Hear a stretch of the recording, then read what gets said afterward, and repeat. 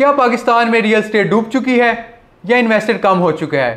आज इसी टॉपिक पे हम बात करेंगे। This is Rana Danish and you are watching geo marketing so हम इकोनॉमी की बात करेंगे कि पाकिस्तान में इकोनॉमी का क्या मसला चल रहा है। तो इकोनॉमी का एक छोटा सा रूल है और बहुत ही आसान सा रूल है, जो कि एक फ़र्स्ट ईयर के तालब इलम को भी पता होगा। वो क्या है? तलब रसद का। पाकिस्तान में इस वक्त क्या मसला चल रहा है? तलब रसद का।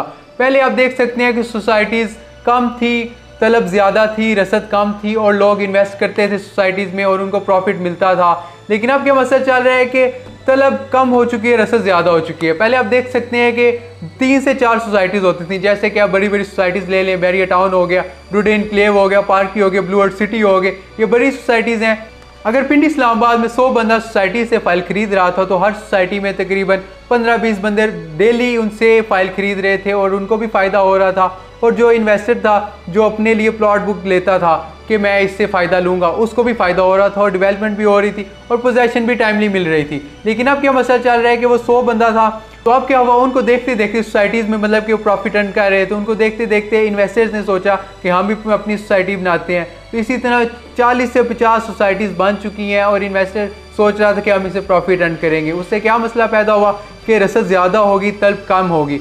पिंड इस्लामाबाद में ये मसला बहुत आम चल रहा है। इसकी मिसाल मैं आपको एक देता हूँ। जैसे कि एक टैंकी है, टैंकी में से दो बंदे सिर्फ़ पानी पी सकते हैं। तो वहाँ से दस लोग और देखेंगे कि दो बंदे पानी पी रहे हैं तो हम भी पियेंगे तो टैंकी का पानी नहीं ख़त्म होगा। तो ऐसा बिल्कुल भी नहीं है कि उस टैंकी में सिर्फ़ दो बंदों का ही पानी पीने के लिए स्टोरेज है। सो so बेसिकली मैं ये सोचता हूँ, अपने जहन से ये सोचता हूँ कि गवर्नमेंट ऑफ़ पाकिस्तान को इस पर स्ट्रिक्ट एक्शन लेना चाहिए कि इन पे इन्वेंट्री एक तो कम करें। सबसे बड़ा मसला क्या है कि इन्वेंट्री बहुत ज़्यादा है। और इन्वेस्टर जो है ना डिवाइड हो चुके हैं तो मसला ये चल रहा है कि प्रॉफिट लोगों को इसलिए नहीं मिल रहा डेवलपमेंट इसलिए नहीं हो रही।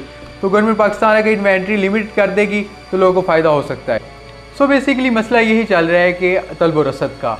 एक तो आप देखते हैं कि ओवरसीज़ एक तो मसला ये हमारा बहुत बड़ा चल रहा है कि इकॉनमी हमारी कमज़ोर होती जा रही है। उसका क्या मसला है कि ओवरसीज़ इन्वेस्टेड बाहर चला गया, वो अब इन्वेस्ट नहीं कर रहा पाकिस्तान में।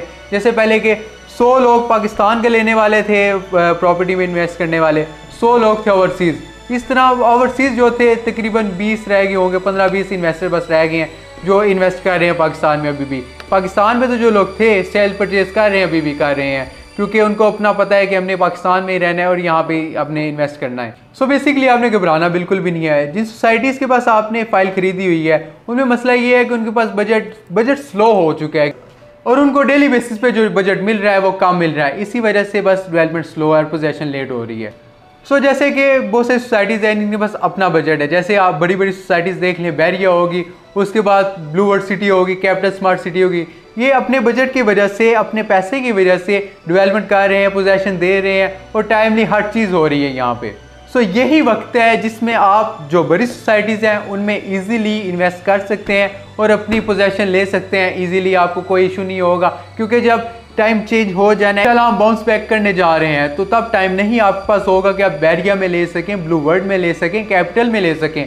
तो यही टाइम है कि आप इन्वेस्ट करके अपनी चीज़ के मालिक बन सकते हैं। तो so, जिन लोगों ने दूसरी सोसाइटीज़ में अपने मतलब कि फाइल्स वगैरह ली हुई हैं प्लॉट लिए हुए हैं तो मैं उनको बेसिकली ये कहूँगा कि आपकी इन्वेस्टमेंट डूबी बिल्कुल भी नहीं है बस टाइम टेकन है और डिले हो रहा है क्योंकि उन सोसाइटीज़ के पास बजट बहुत स्लो हो चुका है। आप मजीद वीडियोज़ अगर देखना चाहते हैं इस तरह की तो जी मार्केटिंग का सबसे पहले चैनल सब्सक्राइब कर लें। उसके बाद मेरे से कोई कंसल्टेंसी लेना चाहते हैं तो दिए गए नंबर्स पर रबता कर लें। बहुत शुक्रिया।